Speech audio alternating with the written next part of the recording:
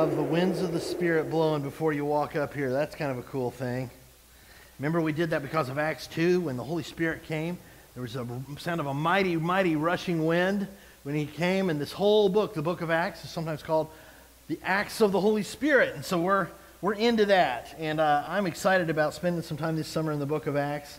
And uh, one of the cool things about the book of Acts, you know, if, if you've read through the Bible, you know that um, some of it is narrative, which means it's story. Some of it's poetry. Some of it's lists. Like, you know, Hababa 16 syllable name gave beget so and so, blah, blah, blah, blah. And you kind of skip over those parts, you know, because they're hard to pronounce all those names. But, uh, but the really cool parts of Scripture that I, I just love to read and fun to preach is the narrative, the story. And Acts is all story.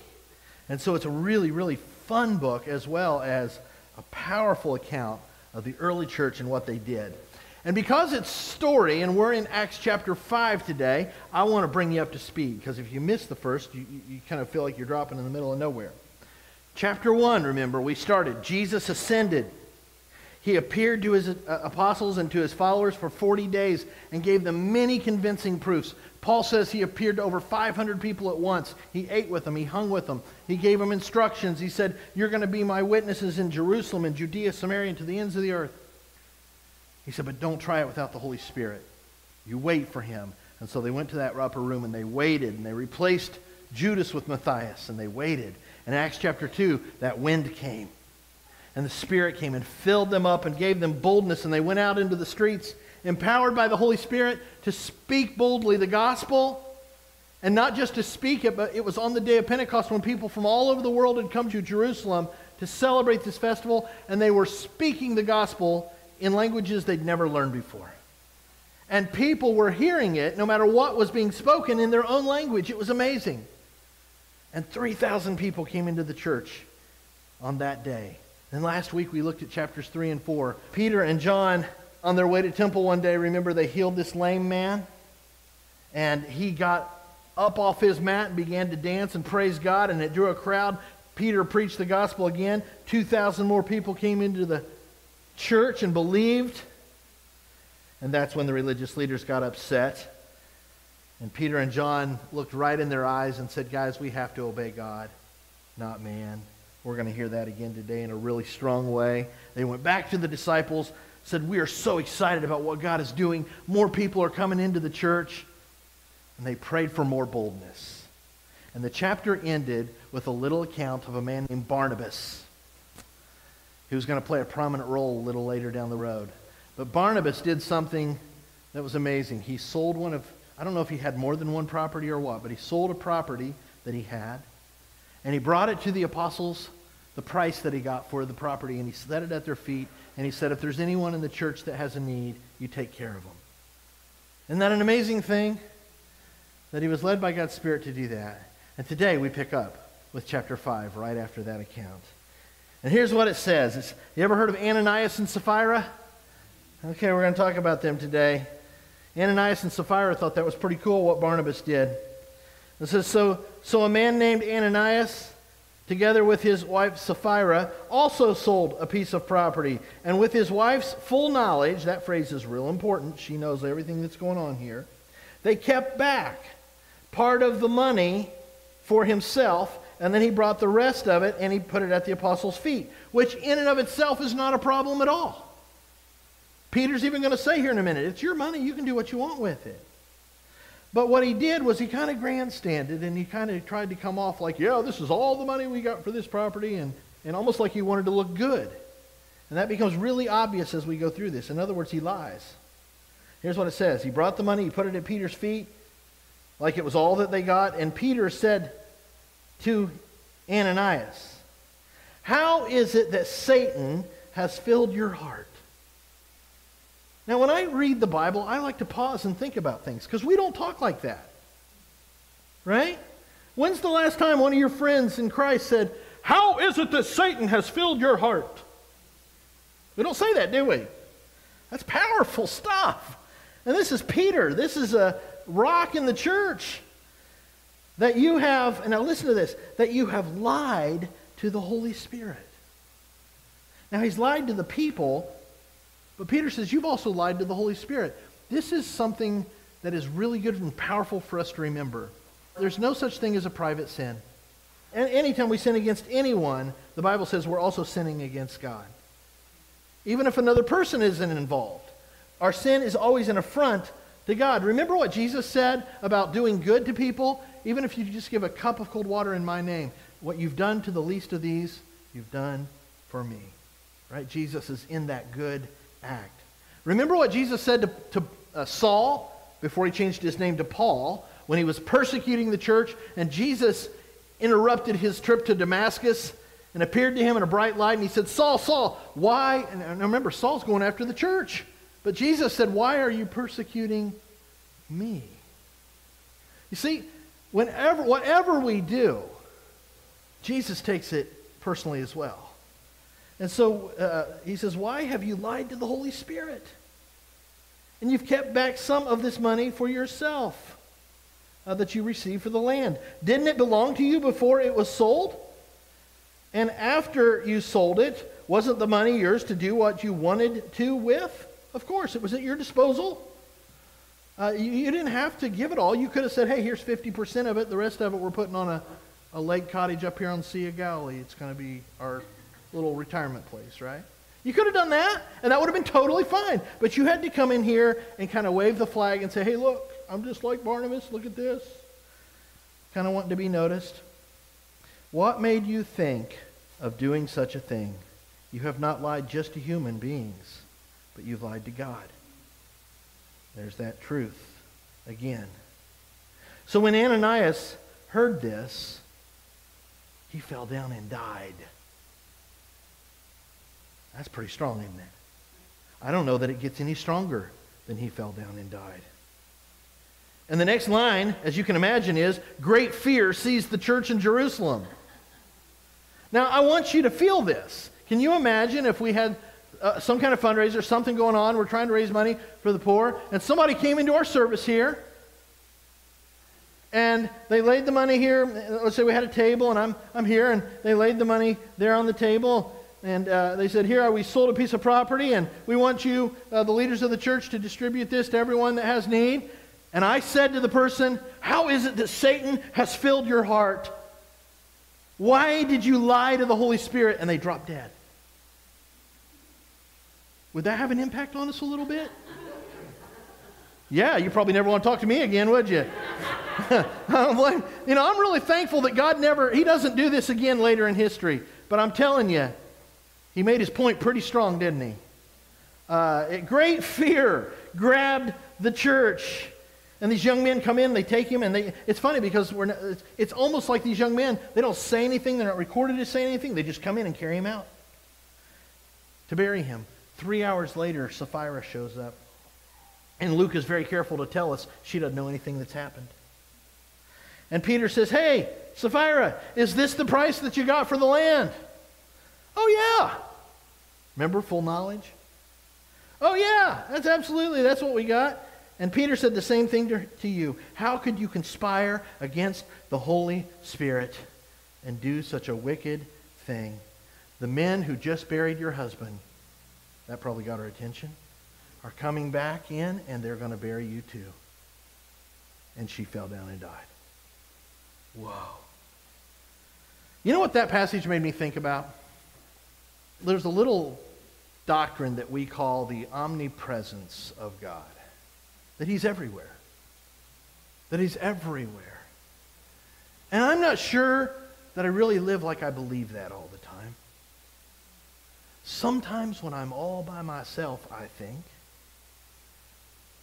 it's a little easier to do things, maybe, isn't it? Nobody's going to see.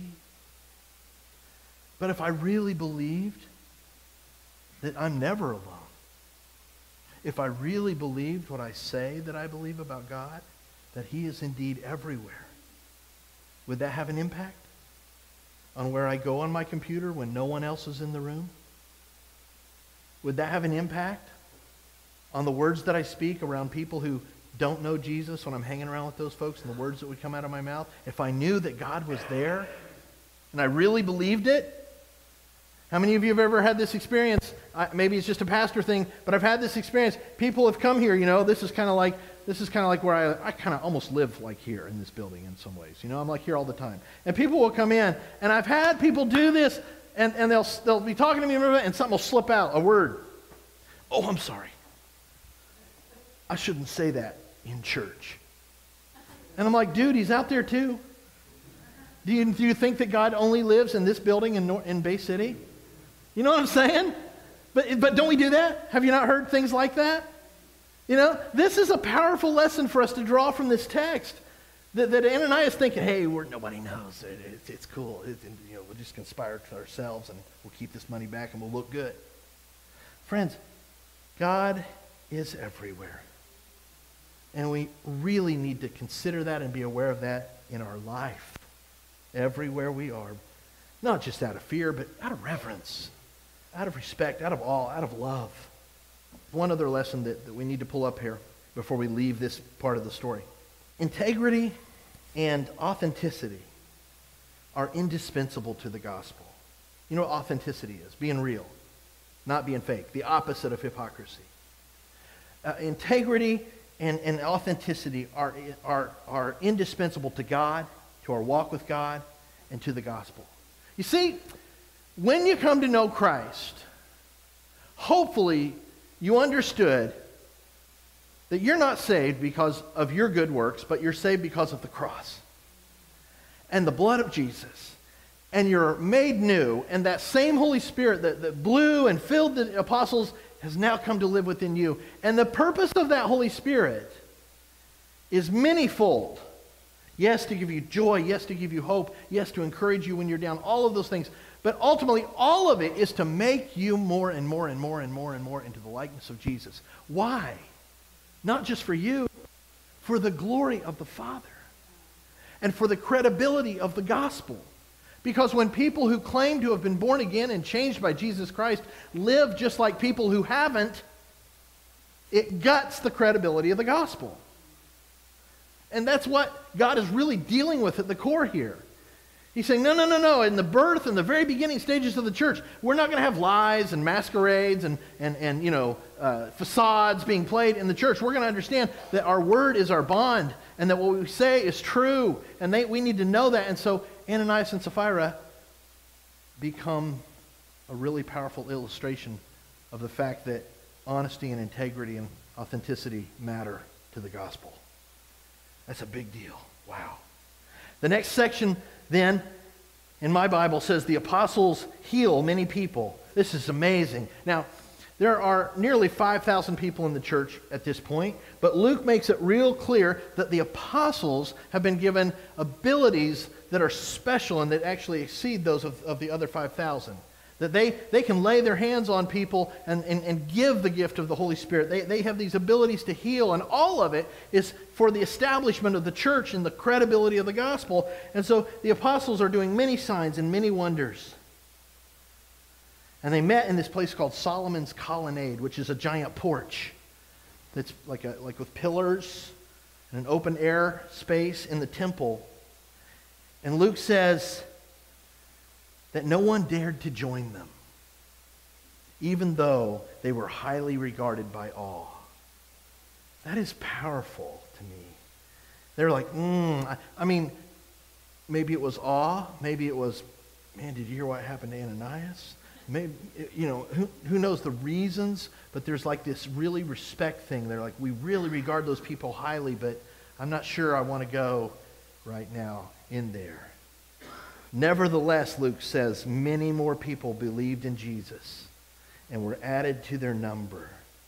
The people brought their sick to them and laid them in the streets, Luke says. And they laid them in the streets just hoping. This is how incredible this, this movement was. They laid them in the streets just hoping that Peter's shadow would maybe touch their sick person and heal them. People from towns all around Jerusalem brought their sick and those tormented by evil spirits, and the Bible says all of them were healed. Wonderful. I mean, God is moving in this powerful way. And so naturally, the next section is labeled The Apostles Face Persecution. God is moving, and now the enemies are going to begin to push back, and it's the religious leaders. And there's a theme throughout not just the book of Acts, but the whole Bible that religiosity, which is the antithesis of what God calls us to. Religiosity is I do this, I, I, I, don't, def, I don't ever detour, this is the way we always do it, and these are the rules, and we keep the rules, and we keep the days, and we do it this way, and you know, it's just this religiosity thing. God is like, that is not what I'm about. I mean, he, he says, I'm, I'm sick to death of your sacrifices. I want your heart. You come close to me with your lips, but your heart is far from me, you know? Those are the words of our, of our God. I want your heart. I want to know you. But here we see that just like throughout the rest of the Bible, the religious spirit is the spirit that combats the work of God. It wasn't the world that killed Jesus. It was the religious establishment that pulled the trigger and pushed back and said, No, you're messing with our stuff, man. You're messing with our plan. We had it all in a nice, neat box, and you're stirring it all up. Now you're letting those people in. What are you doing? And that's exactly what they're facing here. In verse 17, it said, Then the high priest and all of his associates, who were members of the party of the Sadducees, I always feel the need to say this. There were three or four major religious parties. We, we know about the Pharisees and the Sadducees. There was a group called the Essenes and a couple other groups. But the Pharisees and the Sadducees were the two big ones. And the Sadducees were the priests. They ran the temple. That's a giant deal if you're a Jew because you can't do sacrifice without priests. And you can't do a lot of your worship without what happens in the temple. And the Sadducees were over all of that. Now, ironically, the Sadducees in this day, they just weren't any fun at all, man. Um, they didn't really even believe in much spiritually. They believed in the law. That's about it. They didn't believe in miracles. They didn't believe in angels. They didn't believe in life after death. I mean, what do they believe in? They believe in the rules. And that's kind of where they are. And that's why I've always remembered, it's easy to remember what they were about because they were sad, you see. that's why I always call them the sad, you sees. But they were filled not with awe, wow, look what God's doing. This is so cool. No, they were filled with jealousy. Luke says, which tells you right then, they're not worried about what's right and what's wrong and what honors God. This, these guys are messing with their turf. These guys are taking credit away from them, attention away from them. And so they arrested the apostles and they put them in the public jail. But during the night, listen to this, I love this. But during the night, the angel of the Lord opened the doors of the jail and brought them out. Guys, there's nothing the world can put you in that God can't take you out of. There's no bondage that can come against you that God can't set you free from. Nothing. We'll put him in jail. The angel said, Okay, I'll lead you out of jail. And then there's a really cool lesson here. Go, the angel said when he set them free, he said, Go stand in the temple courts and tell the people about this new life. You're never set free from bondage by Jesus without a mission. See, the gospel isn't, it doesn't end with us. The universe doesn't revolve around our happiness and, and, and feeling good. We're set free for a purpose. We're brought into God's army, God's people.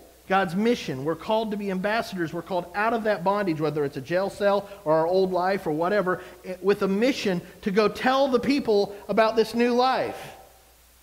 In this verse, they're, they're called to go into the temple courts, which is where everybody's going to be. In our case, it's wherever we go, where we work, where we live, where we hang out, to tell people about this new life. Hey, I can tell you about my old life. And I can tell you what happened when I came to know Jesus and how all of that changed when I repented and the Holy Spirit took up residence in my life. Let me tell you about the new life now that I know Jesus. Let me tell you about hope and joy and times that I've been really down and really hurting and how God lifted me up and used even bad things in my life for good. Just our testimony. And so they go to this place at daybreak. They stand in the temple courts and they begin to share this good news. The next morning, the high priest and his associates arrived at their meeting place. Remember, because they put them in jail, they think they're still there.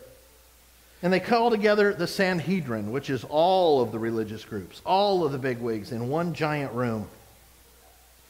And they're going to call in the apostles. They sent to the jail for the apostles. But when they got there, I love this. They found the, the cells with the doors closed, and the guards are still standing by the doors. But there's nobody home. It's like God led them out and didn't, they didn't even know it happened. God can do anything. I love it. They're like, oh, yeah, we'll get them for you. Wait a minute. Is that, that I just love that. And when they get that report that they're gone, the religious leaders have no idea what to do. They're dumbfounded. Verse 25. And then somebody came into this room where the Sanhedrin was meeting, and they said, Hey, look, the men that you put in jail are standing in the temple and they're teaching the people. And at that, the captain went with his officers and he brought the apostles in. They did not use force because they were afraid that the people might stone them. It's all about politics with these guys. And the apostles were brought and they were made to appear before the Sanhedrin. Again, Congress, giant, huge, intimidating group, to be questioned by the high muckety muck. Sorry, I should be more respectful, shouldn't I? The high priest. But that was kind of his attitude. He just thought he was all that. He really did. Uh, and here's what it says We gave you strict orders not to teach in this name, he said. And yet you have filled Jerusalem with your teaching, and you're determined to make us guilty of this man's blood. Well, they were guilty of this man's blood. But they're not going to go there. They got it all rationalized in their mind. They know why they did it, and it was for this good and this reason. And you ever heard people talk, and it's like, I'm not even sure what you're saying is connected with reality, but you believe it. I mean, they had this thing all rationalized, and they thought, you know, no, we know why we did this. And Peter and the other apostles replied, Annas, we must obey God rather than human beings. We got to obey God. We, we, uh, you can tell us not to do yet whatever till the cows come home. We're going to obey Jesus. And he goes on and he says, The God of our ancestors raised Jesus from the dead, whom you killed by hanging on a cross. God raised him to his own right hand. You know what Peter's saying there? To the high priest? You've been replaced, buddy. Jesus is now the once for all high priest. Jesus is our great high priest. A priest is an intercessor. A priest is someone who makes sacrifices on behalf of the people and intercedes for the people between the people and God. Jesus is all of that. Jesus was the Lamb of God. He laid his own blood on the altar once for all, for all who will believe. And he now sits at the hand, right hand of his Father to intercede 24 hours a day, seven days a week, for all of eternity, for all who call on the Father through faith in Jesus. That's awesome. I don't know if Annas got the message, but that's what he's saying. He's been exalted to the right hand of the Father, and now as the Prince and as the Savior, that he might bring Israel to repentance and forgiveness of their sins. You know, this all sometimes sounds harsh, but the whole motive of, of God is to bring us home, is to bring us back to Him. That's His one motivation, that's His one desire. He's like, look, sometimes even when I say things and do things that seem harsh, it's all about wanting to deliver you from the things that are breaking you and destroying you so that you can come and receive forgiveness and refreshment. God, this is so powerful. This is a truth that's just been stirred up in my heart for a few months now, and it, I, I just think it just needs to be lifted up loud. God can forgive any sin as long as we can repent. God does not forgive sin that is not repented of. That's why pride is the ultimate enemy of faith. We have to confess. We have to have a humble heart. And that's the religious leaders' problem.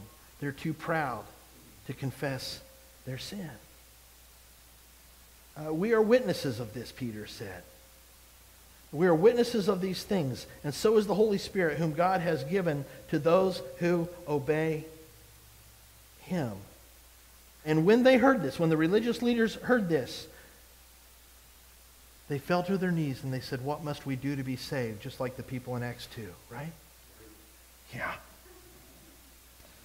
No, the only thing they did was get mad. And this is what happens when people experience conviction. They either get defensive. Who are you? Who do you think you are? Yada, yada, yada. Or they get humble. And the religious leaders get furious. And they want to kill them, they want to put them to death. But at that moment, a Pharisee who was very respected, I'm absolutely convinced that God had this orchestrated for this guy to be there on this day. His name was Gamaliel. And he was a respected Pharisee and a teacher of the word. And, and he began to speak as a voice of reason. And he said, Hey, put these guys outside for a minute. Let me talk to you just for a second. And he began to give the Sanhedrin a history lesson on uprisings and stirrings like this. He said, This has happened before. There have been a lot of people who've raised up, and they, they've even claimed to be doing it in the name of God with some great cause, some great, you know, purpose. And people would rally to them, and sometimes we felt threatened by them in the past. But you know what? They've all fizzled out. And so he said in verse 38 Therefore, in this present case, I advise you to leave these men alone.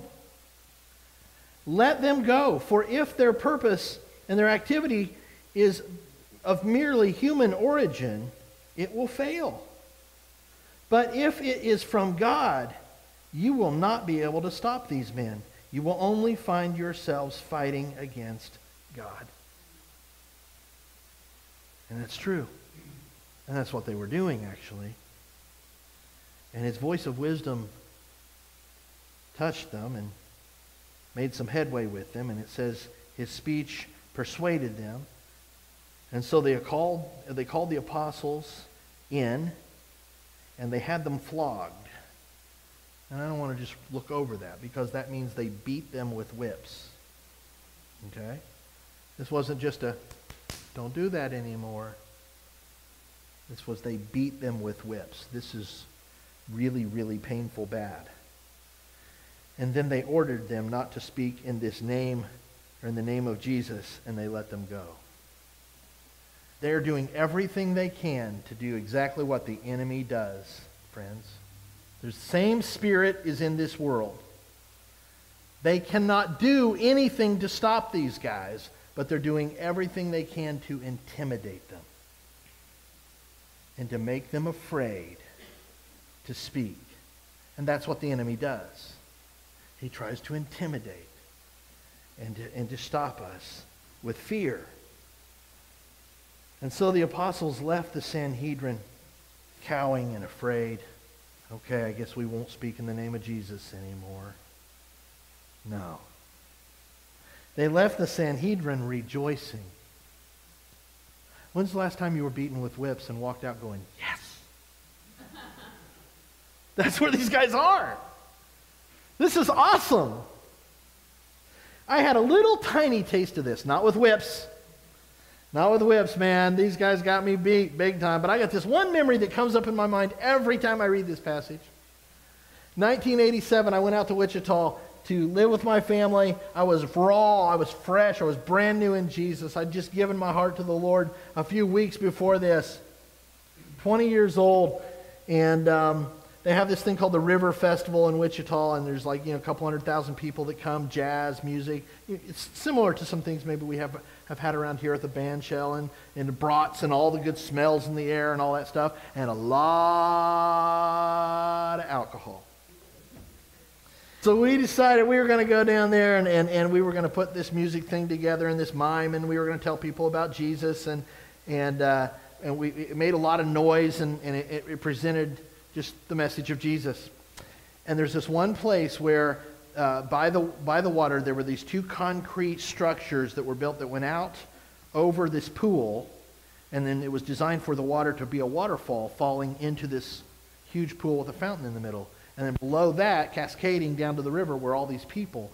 But the water wasn't there, it was dried up. So we thought, thank you, God. You just gave us this awesome stage. So we just got out there on this thing in front of everybody, and we're doing our thing. And, and all of a sudden, these, these people, they started to like, you bunch of. I can't say what they said, but it was like, it was basically a very unpolite way of saying, would you please stop and leave? Okay? Now, all kinds of words. And we felt a little threatened and, and those kind of things, and so we, we walked away. But as we were walking away, we thought of this verse and we thought, yes, we got yelled at for Jesus. I mean, it was really minor, but it is a privilege to take heat for Jesus. That's what they're saying. It says, they walked away from the Sanhedrin uh, rejoicing because they had been counted worthy of suffering disgrace for the name. Wow. Oh, the, uh, how we could just, how the world would be turned upside down if we just were filled with that mindset. Day after day. Now, listen, here's the end result of all of this. Day after day, in the temple courts and from house to house, they never stopped teaching and proclaiming the good news that Jesus is the Messiah. Never. They just kept going. You know, I thought as soon as I read that, that's the end of the chapter. When I, when I read that, I thought about Acts chapter 1 and how important it was for them to have seen Jesus alive and for him to say to them, Hey, I've been on the other side. I've been to death and I've come back. And I'm here to tell you, don't be afraid. There's nothing afraid of, there's nothing to be afraid of on the other side. And you know, I've said, I said it that week, I'll say it this week. When you're ready to die, nobody can stop you. If you're ready to say, hey, if that's what it comes to, I mean, I'm not planning to, to go down that road today, but if that's what it comes to, then all right, bring it on. It's pretty hard to stop somebody like that. And, and so this thing is just exploding because they are filled with such boldness. It's just a beautiful testimony for us to see the early church working like this. So, how do spiritually hungry disciples respond? Well, hopefully, we're inspired. Hopefully, we're encouraged to want to be less afraid and more bold like that. Hopefully, we're persuaded to have a, a shift and to begin to view life the way they did. That, hey, you know what? This life, for some reason, a little plaque in grandma's kitchen just popped into my mind. Said, only one life, twill soon be past. Only what's done for Christ will last. Isn't it funny how you never forget some things like that? That's the mindset they lived with. It's all about the kingdom, man. It's all about what I do here for my king. Uh, and that's what my life's about, helping more come to know the king. I hope that we're inspired today and challenged with the value of the integrity and the authenticity of our life and how important that is in terms of our lifestyle, the words that we speak, the way we conduct ourselves to the credibility of the gospel. Powerful, powerful. And if there's anyone here today and you're thinking, I don't know that I know that I know that I have that living Jesus Christ in my heart. I want to know him. Don't be like the religious leaders and resist. Be humble and open up your heart and say, Lord, come into my life. I do turn away from my old life. And I ask you to come in and be my Savior and my King. And come today. Let me pray with you. Because God has just got a boatload of grace He'd just love to pour all over you.